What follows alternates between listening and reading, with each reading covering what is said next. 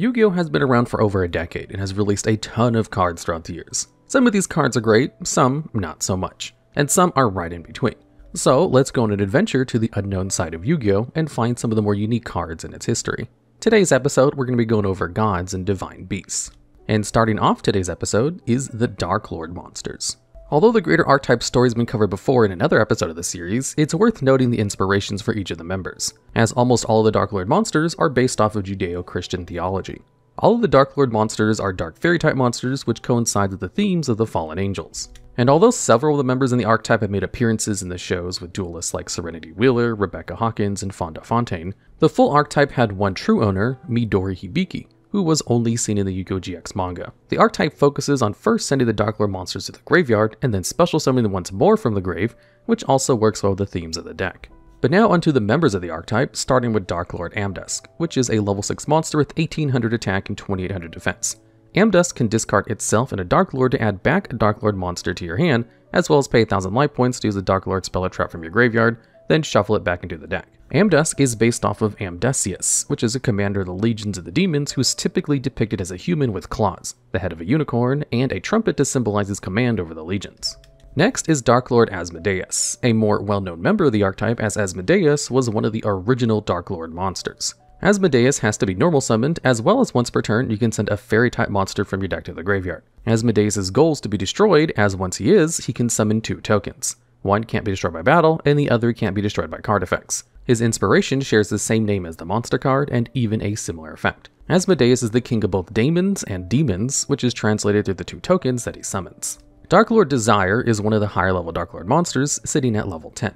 This 3000 attack monster can also be tribute summoned by using one fairy monster, which is rather unique as a summoning condition for older Yu-Gi-Oh! Additionally, once per turn, you can allow Desire to lose 1000 attack to send one target monster opponent controls to the graveyard. Desires is based off Mammon or Greed. Dark Lord Marie is one of the more iconic cards of the archetype, as it was known as Marie the Fallen One before it was eroded, so it would fit into the archetype.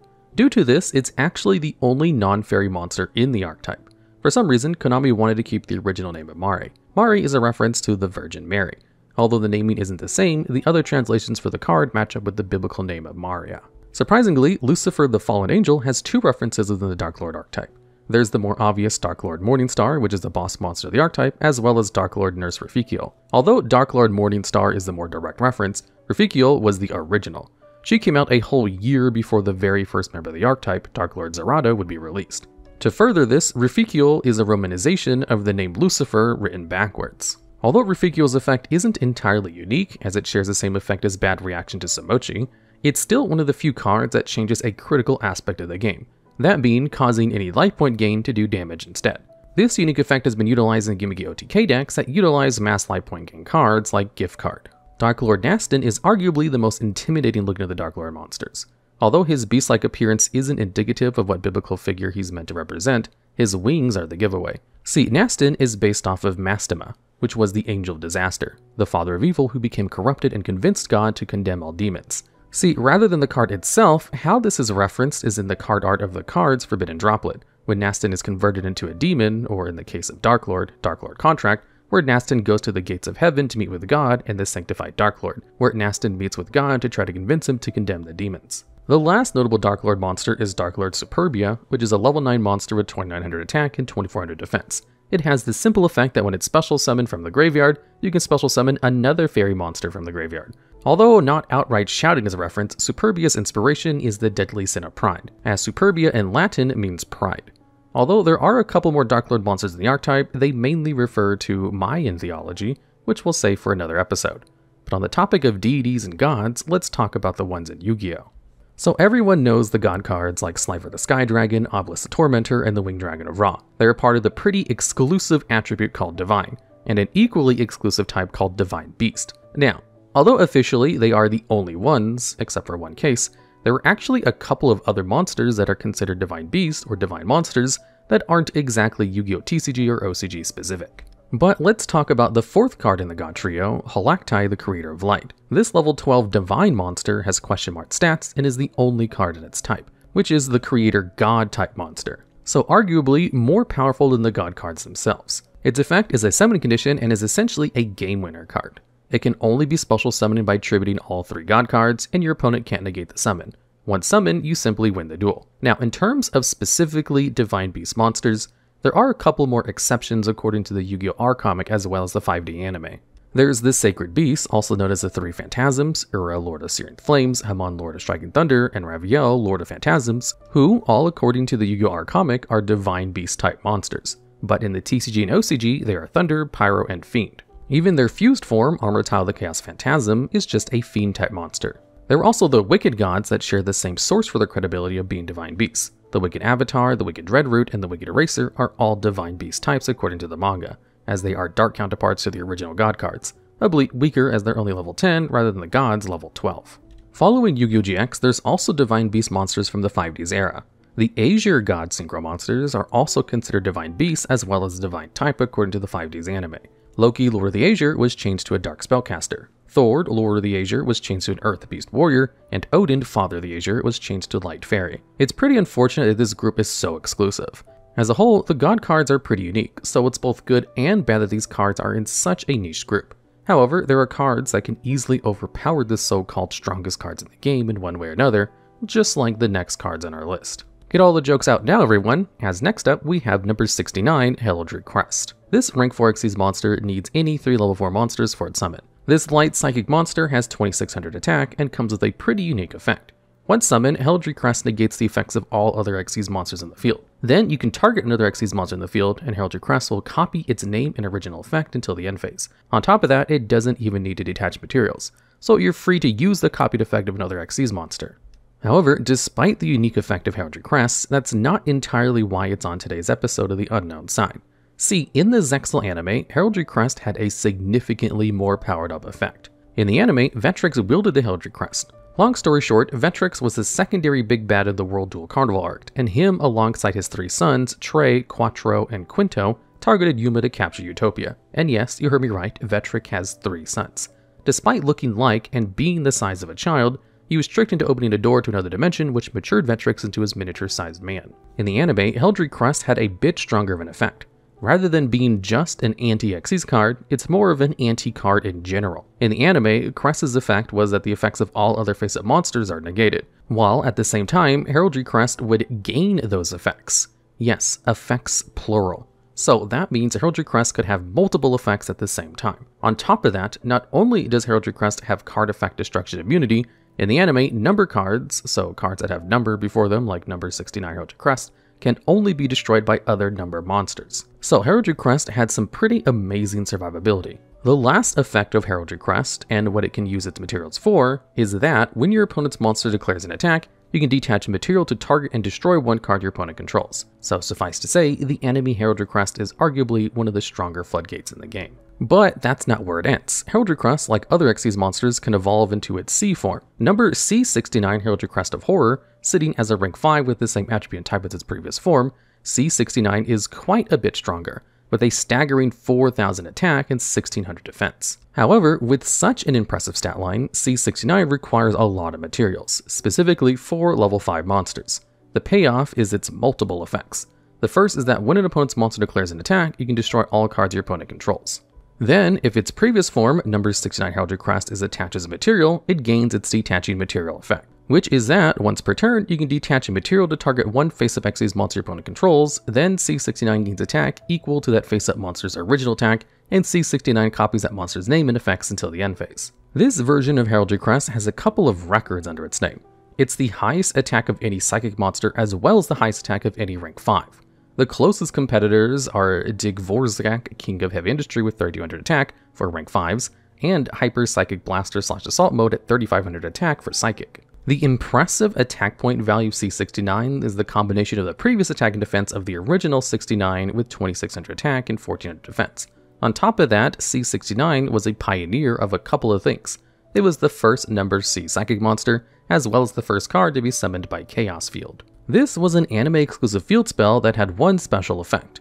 Once per turn, you can detach material from a C number card you control to special summon a random number card from your opponent's extra deck, with the cost of not being able to attack, having its effects negated, and being destroyed near the end phase, unless you activated the secondary effect of Chaos Field. This second effect was that you would target Xyz monster with a special summon from your opponent's extra deck by the first effect, then Xyz summon from your extra deck one CXyz monster That's one rank higher than the monster by using it as a material.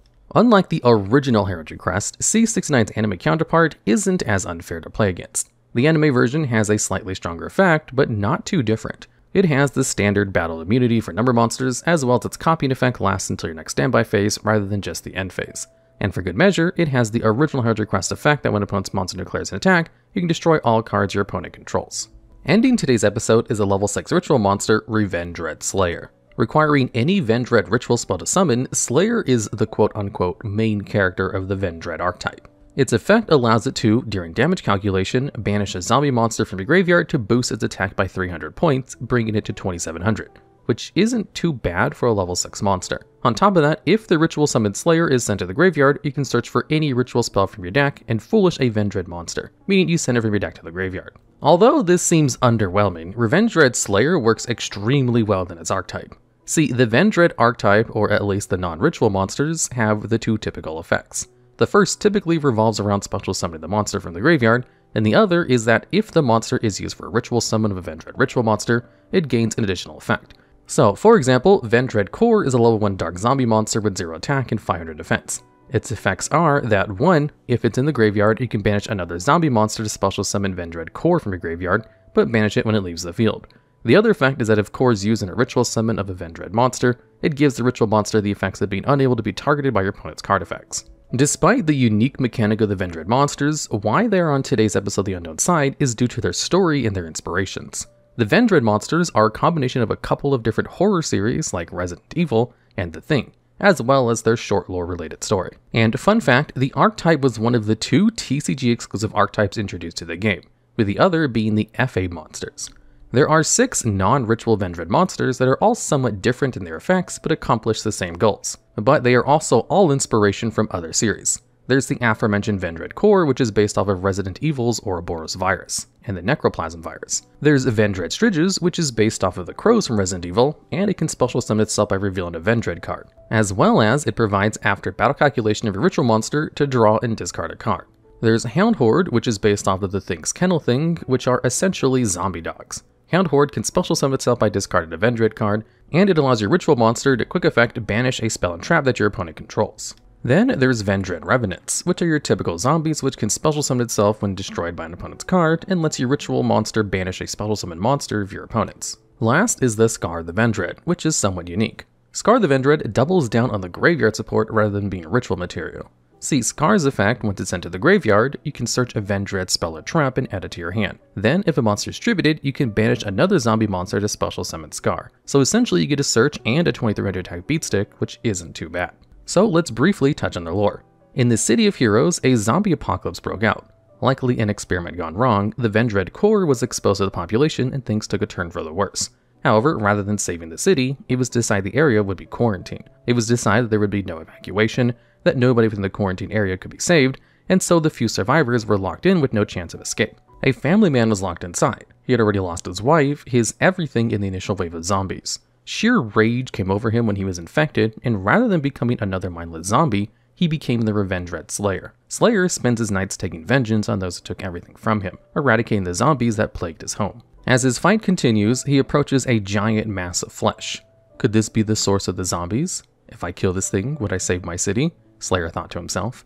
Either way, he was taking this giant flesh heap down. Vendread Slayer charged the amalgamation of zombie-fight creatures. Cutting deep into its body with various slashes, it only seemed to anger the monster. Vendread Chimera was deeply angered, but it wasn't attacking back. Vendread Chimera started shifting around, curling into a defensive position, and then burrowed away. Slayer followed suit, but he was surprised at how fast the Chimera dug. Reaching over a mountain of debris, Slayer arrived and it was a trap. Standing in front of him was what could only be described as the leader of the zombies, the source, Vendread Battle Lord. But Slayer wasn't intimidated one bit. In fact, he was more cheerful at the opportunity to go all out and enacted vengeance on the horde of zombies. Vendread Slayer charged in, attacking and tearing through the hordes of zombies. It didn't matter their numbers, it didn't matter their strength, all that mattered was that Slayer would live up to his name and slay. He leapt at Battle Lord with no hesitation, ripped out his heart in mere moments. It all happened so fast, not even the zombies that survived understood what happened.